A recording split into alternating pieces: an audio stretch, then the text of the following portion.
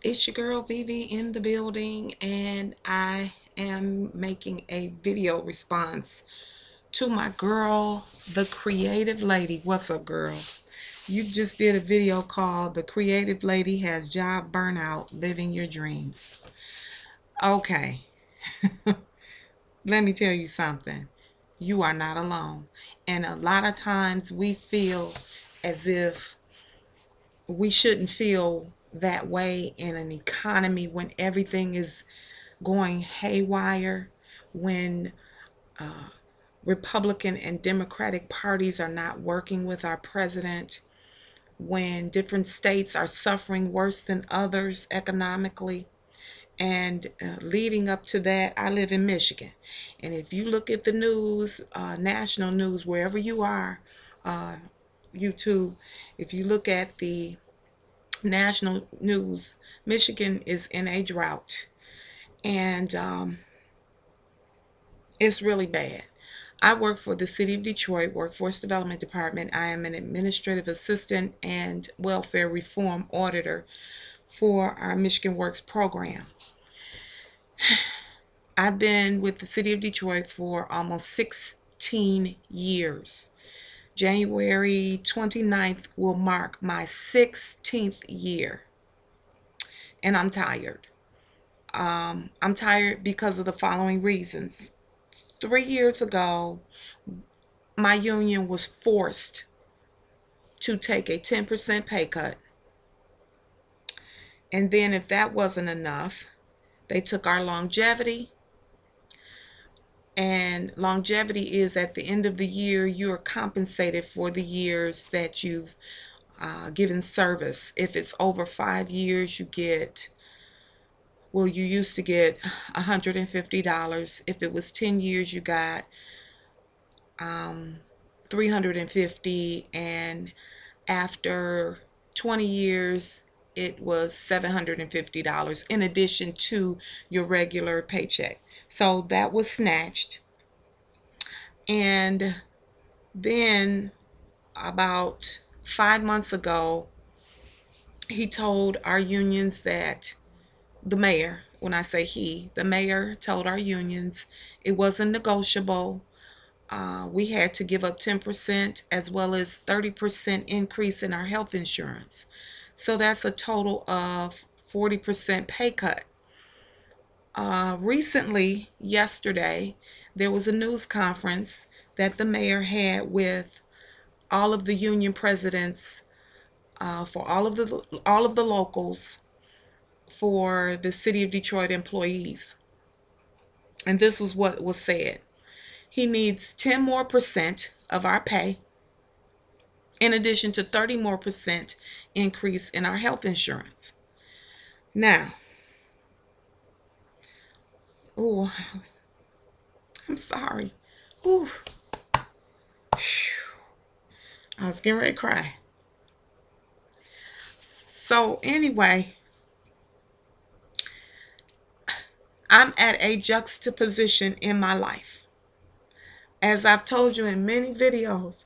Ooh. I'm going to get it together. I'm sorry. As I've told you guys in so many of my videos, I'm over 40. I'm currently working on my master's degree in um, in psychology with a concentration in industrial organizational psychology because I have a passion for employees and, and how they're treated. That's why I'm crying. I'm sorry. So where where are we now? We're at we're at a crossroads because now the mayor is saying that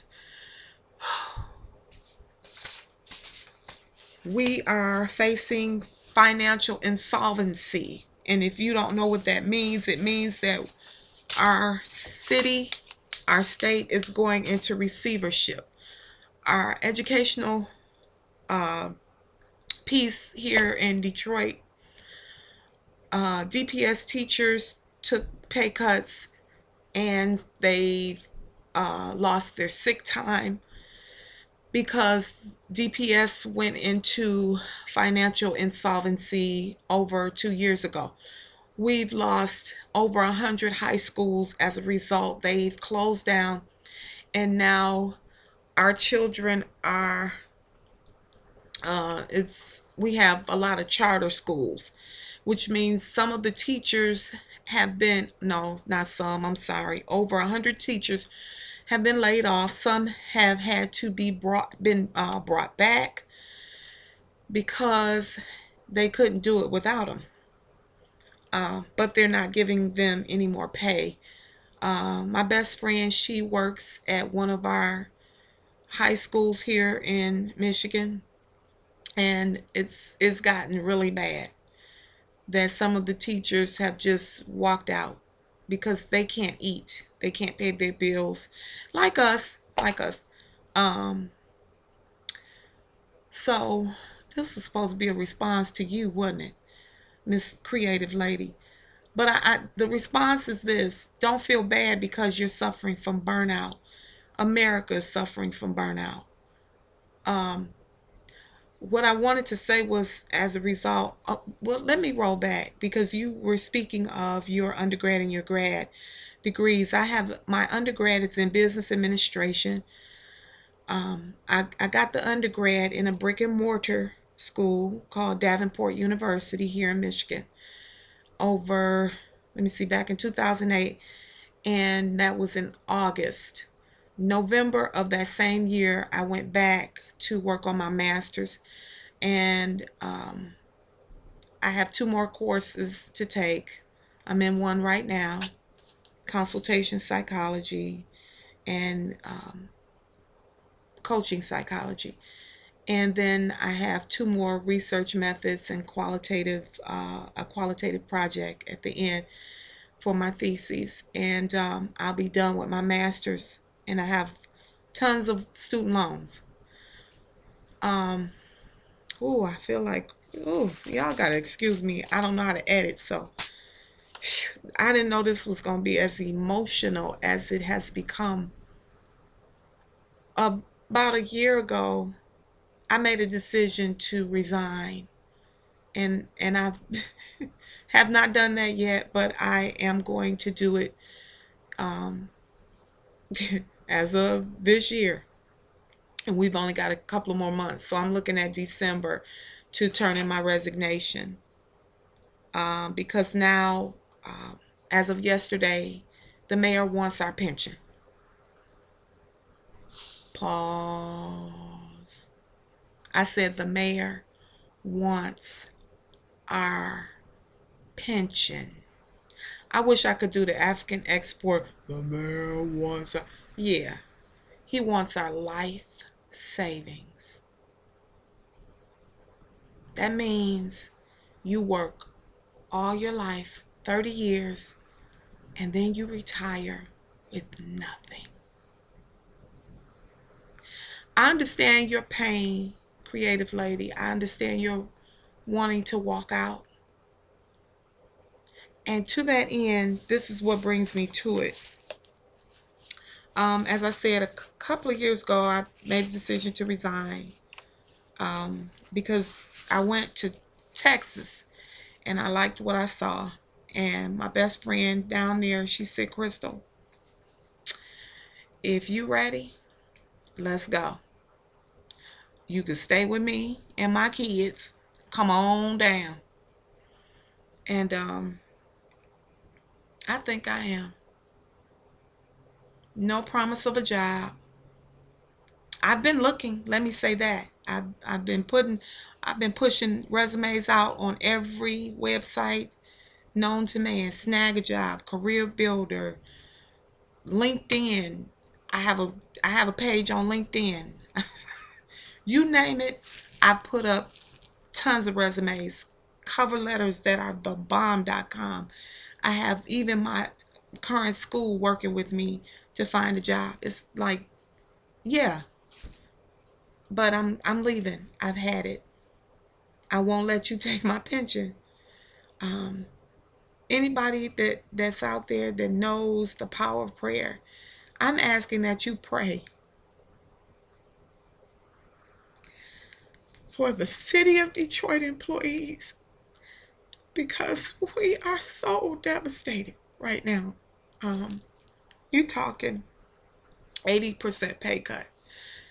I'm almost making what I used to make when I first got the job 16 years ago. And it's hard. But um what I wanted to share was this book that gave me my get up and go in the midst of all this. And the name of the book is What's Really Holding You Back by Valorie Burton. She's a um, a life coach. She's a renowned life coach. She's she's gone everywhere and uh, she's got tons of books that are out. Uh, one page I've written all through this book. Um, one chapter is called "Are Your Goals Vivid and Specific? Develop a clear strategy. Be clear about your vision. Set specific written goals." You've all heard this before. Set only those goals you feel led to pursue. Drop any goals that lead you away from your vision. Set a deadline, then create a timeline. Let go of all excuses as to why you can't reach the goal. Maintain your focus. Um, another piece that spoke so clearly to me was joy, not fear, is God's will for your life. To make decisions out of fear is to throw away the power and sound mind God has given us. And I, I know everybody is not into the whole, you may not know or have a relationship with, with Christ, but I do. I'm trusting him. Even though I can't trace him, I'm trusting him. Uh, Charles Capps, he's like one of my favorite preachers. He says something that spoke so clearly to me and he amplified a scripture that said faith without works is dead and he said what that means is faith without corresponding actions is dead so your faith has to move it has to grow feet um okay i'm not gonna start preaching because i i feel the preacher inside but um she has a chock full of things in here that were just sound goodies for me uh, when I took the first pay cut. Uh, so, yeah, this is the book. It's, you know, chock full of good stuff. I'm telling you, for those of you that feel a, a gap or just feel like you, you need to close up that gap, between where you are and where you need to be. Um, another person that just blessed me, and this is getting too long, so I'm going to end it, but just blessed me in um, something she said on one of her uh, messages. Her name is Dr. Cindy Trimm, And she said, Your mind will never take you where your feet have never been. And that is so true. You can't go where you've never been. If you have a vision, the Bible says, write the vision and make it plain. And I have a vision statement.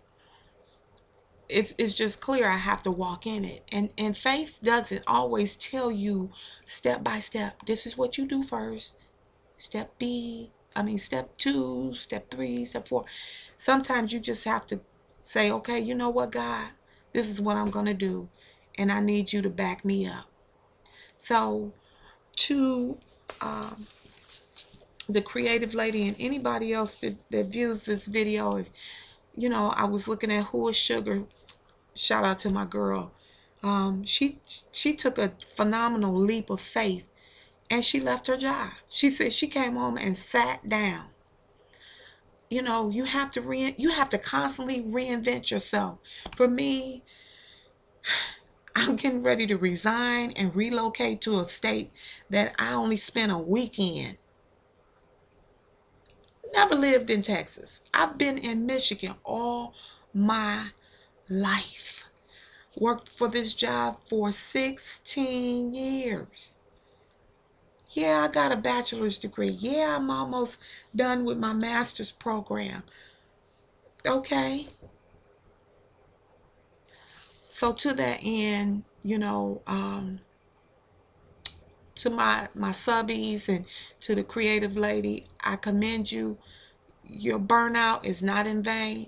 You got a lot of people that's suffering from the same thing, lady. And I commend you on whatever decision that you make.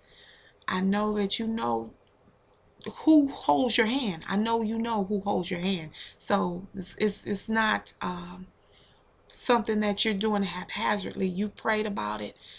You you stayed on your face. I know. And if you haven't, get on your face, and don't get up until He say so. So um, I just pray for us. It's just it's really crazy right now. I, I, I just pray that we don't have another riot like the one back in 1967. Uh, but if if they take our pension, okay. So anyway, I love you guys. Love you. Love you all. My new subbies. Love y'all.